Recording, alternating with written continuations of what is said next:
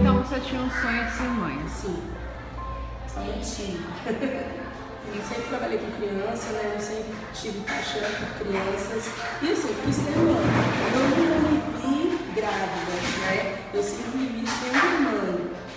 Então, assim, devido aos meus problemas né, ginecológicos, eh, impossibilitaria eh, o processo da gestação. Eu cadastrei, né, fiz todo o processo, foram na minha casa e eu fiquei apta à adoção.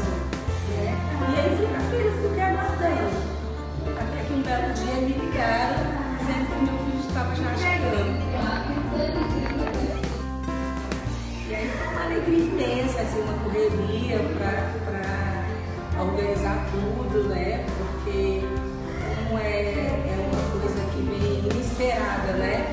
A gente espera, é esperada, mas quando chega é muito inesperado.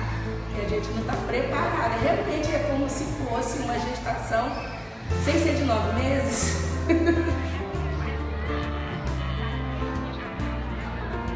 Então, assim, é,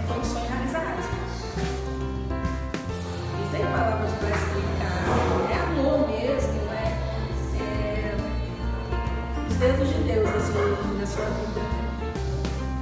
Science.